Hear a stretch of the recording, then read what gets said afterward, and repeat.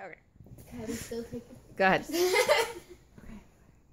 Let's welcome Julia and Claire with Medina Troop 495. We're going to talk about, um, the Raptor Center? yes. Okay.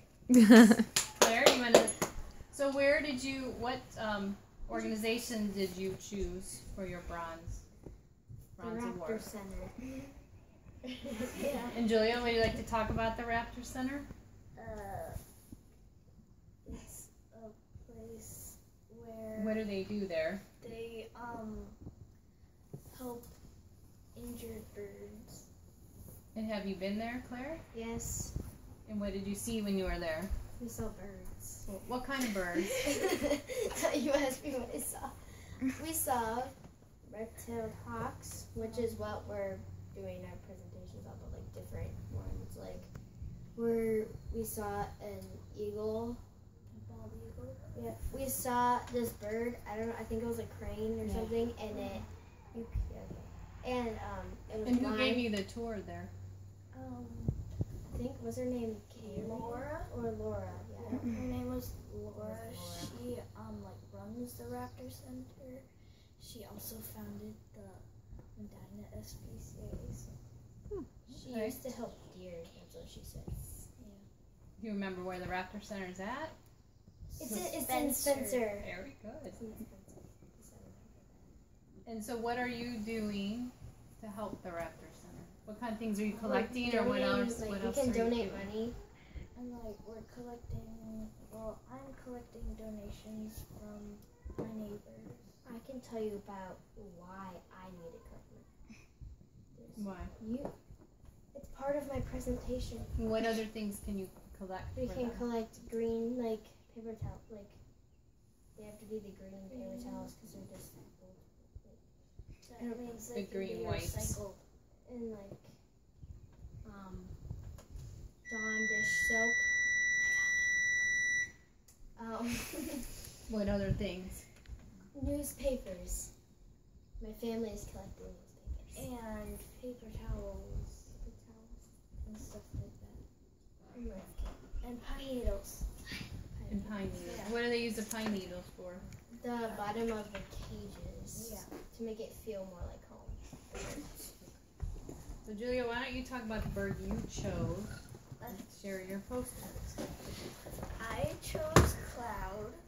He is a leucistic um, red-tailed hawk, which means that um, well, the denif- definition is a genetic variation where okay, just um, this basically means that the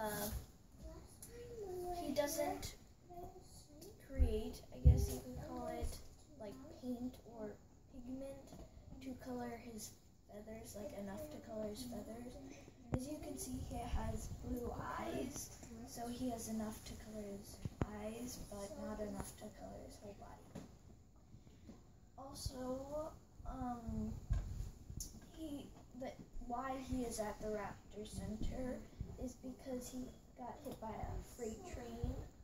Um, and the Was he flying? impact, yeah, the impact from the freight train like naturally amputated his wing, which um, the Raptor Center had to eventually amputate more. And um, there's only eight of leucistic um, red-tailed hawks in captivity, but there's um, more in the wild. Will he ever be able to fly? Um, no. Is he gonna stay there, or will Yeah. they let he's He's one of the um like ambassadors okay? at uh And what does that mean? he is it means like that he um helps share information to other people so that they can like know about the Raptor Center and stuff. Yeah. Is there anything else you want to share about it? Yeah, I'm going to well, I don't have any Wi-Fi here, so. But um, So they take him out for educational. Yeah, so um, some facts about the red-tailed hawks are their nest type is uh, like large bowl of sticks in a tall, tall tree or cliff edge. And um, I drew a picture of what it would look like by the description that I can buy. And their habitat habitat is found in agricultural areas. I um, drew a field, and this is what the regular red-tailed hawks would look like. Um, some of their food is like small and medium size. They also eat other birds and reptiles. This is just one example of the food. So, Nice. and their egg looks like that. Basically. So, yeah, that's about it. Thank you. Okay. How about you, Claire? What did you Mine has a lot of stuff on it. I need a stand. so I facts about the red-tailed hawk, like that's there. So I'm gonna read this. Okay, so uh, What bird did you, you chose a red I hat? chose the red-tailed hawk. Her name is Valerie. Her nickname is the fire breather because here I'm gonna read this. So this is what I wrote about. This is so I said I think Valerie is a strong bird. She fought for her life because she was because she was in a really dangerous situation. She is like she's a fighter and will soar the sky in just a few years. So, facts about Valerie. In August 2015, she flew over methane gas plumes and was not able to see or smell plumes. So, like, that's how that happened. But she has to go to the vet often because she can't really take care of herself and she's like very, like, she doesn't really have any feathers. Valerie has the worst methane gas burns the record that I ever had. How long has she? Will she stay there? That's part of it. and um, she had she lost all of her feathers and damaged sheaths to her talons. I really don't know what that means, but it was. So Valerie had to have all her food chopped up because of her beak, like it was burned and stuff. This is a picture of her, like a different picture. It had like it was black because it got her Different picture. But now she can eat it whole, but it still has to be dead. Like she can't catch life. So in the beginning of March, she got a brand new feather on her wing. See right oh. there. Hmm. That's these two are actual pictures of her. So she has one feather right there. But here feathers need to have a supply of blood in the shaft, and they can see that is very well supplied. So Valerie will be getting more feathers hopefully soon. She's very feisty and is making more progress than they thought she would, but rehabilitation will take about two to three years in total, so that's how long she'll be there. So, and then Valerie will need a lot of specialized treatment, but hopefully it will help her get better. And then this is the last one. This is what I was talking about the money part for my bird because I want to raise money for her. It says, well, I put, if you want to help raise money for Valerie, go to www.fundme.com slash MCR from Donna Raptor Center slash Valor. Like her nickname can be Valor, but hmm. I put And she does. She has a GoFundMe page. Claire found that. How much money have they raised for her so far? I saw 1,400 and something. Wow. Okay. that. Uh, so what else do you have on your Wait, board? and if you want to read her story, go to www.medinaraptorcenter.org. And in the top right corner, or under it, sort of, there's a search bar, and in there type Valerie, and her story shows up. And so, now we're gonna talk about red-tailed hawks. That's sort of that's a female red-tailed hawk flying. And so, this fact stuff. Okay. Red-tailed hawks live up to two or two or le- two years or less, but if held captive or survived more than two years, it lives longer because it never really said why they only live up to two years. Because like, oh yeah, they either get eaten by like other birds or something. Mm. It, they eat voles, mice, wood rats, snowshoe hares, jackrabbits, brown squirrels, peasants, I think that's how you say it, starlings, blackbirds, snakes, and corn, or corn, I don't know how to say it, and then corn. So that's a picture of a vole, that's a mouse, and that's um, a wood and that's a blackbird. I just got different pictures. I wish they were smaller. Red-tailed hawks are really light. Like they have so much feathers, and that's How much do they weigh? they weigh 1.5 pounds to 3.2 pounds. And then a red-tailed hawk is like a noun. That's a, it was a noun.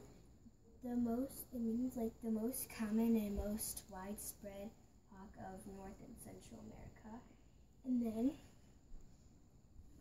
red-tailed hawks can get up to 25 inches tall with a wingspan of 4 feet long. And this is about red-tailed hawks in my bird valley. Does anybody have any questions for Claire or Julia? Kenzie. Kenzie. Why does it say the That's her nick. That's her nickname because she flew over methane gas plumes, and that's like fire, kind of like the, like the fa- That's how she got named. You have a question, Ashley? If you like pop a balloon with the sharp thing, it'll like it'll do that. Yeah. Pop a balloon. That's what we'll do. Oh, yeah. Mm-hmm. Kind of like hot lava. Mm. Giselle. Um, I thought is it Valor?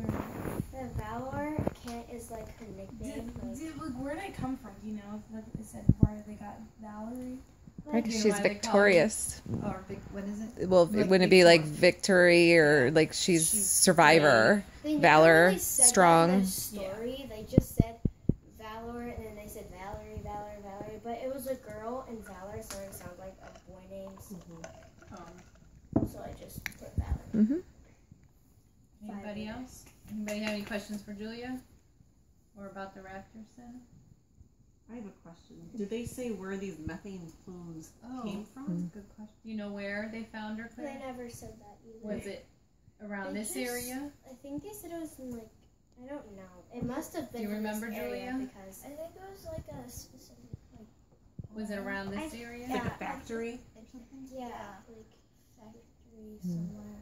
Oh, she maybe flew- she flew yeah, over she it. flew while over it, and she couldn't see or smell them, Mm-hmm. and so like Hmm. that's and so she was like, okay, yeah, I can fly here. And she like right when she flew over them, she like fell to the ground Mm-hmm. because she couldn't fly. I'm just wondering if it's something the factory puts out, you know, as Oh, just part of their emission, Mhm. Okay. emissions, or was something Yeah. going on? Kenzie. How come she couldn't Okay. see or smell it? Um, because like I don't Yeah, that I wonder if this is Well, it's probably from like a factory, found and like Found her and- Yeah. she probably like she couldn't like I don't know. It's probably clear, so that's why she couldn't Yeah, see was- it. Yeah, it was Yeah. clear. Yeah. Smelling. Smell. Maybe it just was a smell that she couldn't pick up on. Yeah. Yeah. She couldn't smell. Giselle. Um, so, wait, um,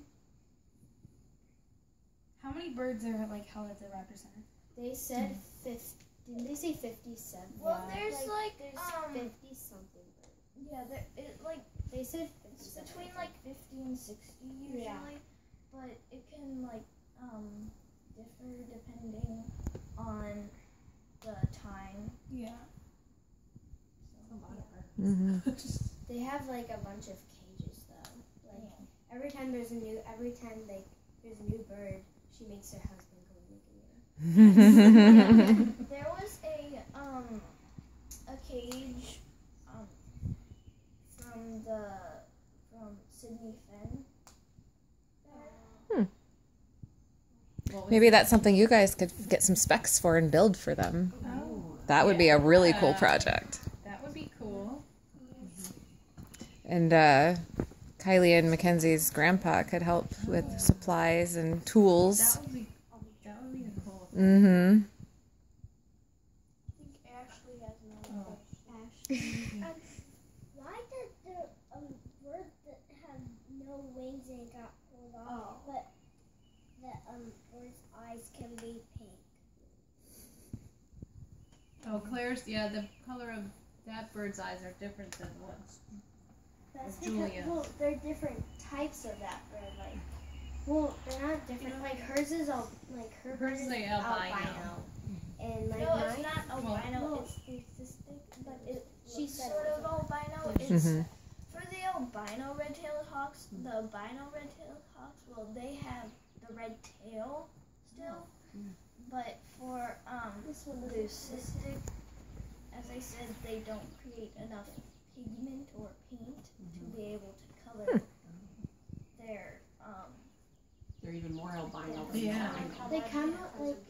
I did forget when she flew over the plumes, she couldn't fly and she lost all of her feathers because like they They burned, burned them off. and then Oh wow. like Did she you got get like, Ash? They got, they got burnt off. yeah.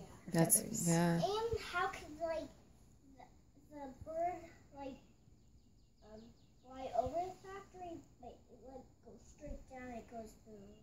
Well, cause like um she went she like before yeah, she was fine and she got fly right when she flew over it she fell because the plane was like they like burned, her and she like they she got too hot and like she like couldn't.